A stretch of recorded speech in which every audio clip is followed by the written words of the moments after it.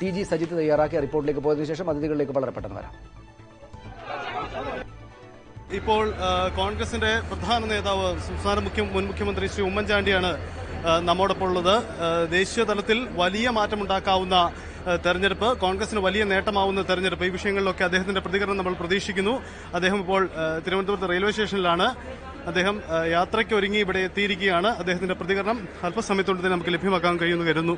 Sir കാവിക്കോട്ടകൾ എന്ന് പ്രതീക്ഷിച്ച പലയിടങ്ങളിലും വലിയൊരു വിജയമാണ് കോൺഗ്രസ് നേടുന്നത്. ഇത് പ്രതീക്ഷിച്ചിരുന്നതാണ്? നിശ്ചയമായും കോൺഗ്രസിന്റെ ശക്തമായ തിരിച്ചുവരവിന് തുടക്കമാണ് ഈ തെരഞ്ഞെടുപ്പ്.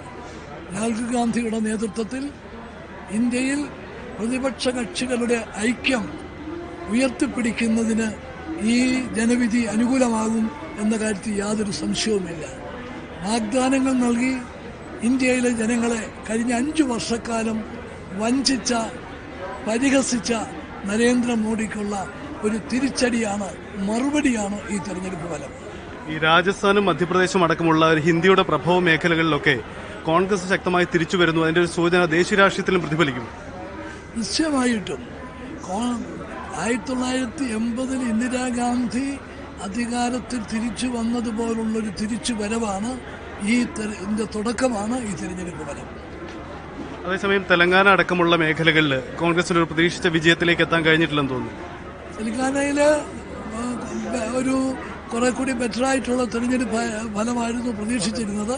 സംഭവിച്ചിട്ടില്ല. അവിടെ വോട്ടേഴ്സ് ലിസ്റ്റിലെ ക്രമക്കേടുകൾ ഉൾപ്പെടെയുള്ള കാര്യങ്ങളെക്കുറിച്ചുള്ള പരാതികൾ തെരഞ്ഞെടുപ്പിന് മുമ്പ് തന്നെ ഉയർന്നിരുന്നു. അനേക ലക്ഷം ആളുകളുടെ വോട്ടുകൾ ലിസ്റ്റിൽ നിന്ന് മാറ്റിയിരുന്നു.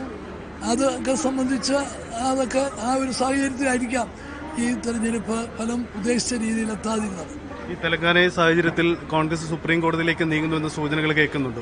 അത് ശക്തമായി ആവശ്യമെങ്കിൽ നിയമപരമായി നേടാനാണ് നീക്കം? അതിപ്പോൾ അതിപ്പോ അവിടെ തെരഞ്ഞെടുപ്പിന് മുമ്പ് തന്നെ ഉയർന്നു വന്നിട്ടുള്ള ആക്ഷേപമാണ്. ഈ തെരഞ്ഞെടുപ്പ് ഫലം അതിന് കുറെ കൂടി അതിന്റെ അങ്ങനെയുള്ള ആക്ഷേപത്തിന്റെ വിശ്വസനീയത ശക്തിപ്പെട്ടിരിക്കുകയാണ്. ഉമ്മൻചാണ്ടി പ്രതികരിക്കുക